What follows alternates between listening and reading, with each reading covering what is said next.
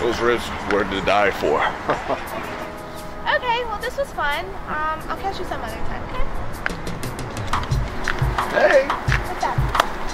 I just bought you Ruth Chris. You know, I spent over like 200 some dollars.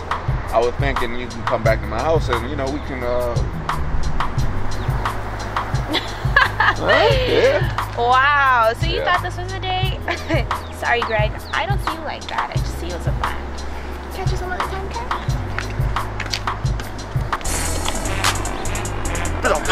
Goddamn money. all that goddamn money on you. I could spend some money on my grandma. Oh spit it out. Spit it out.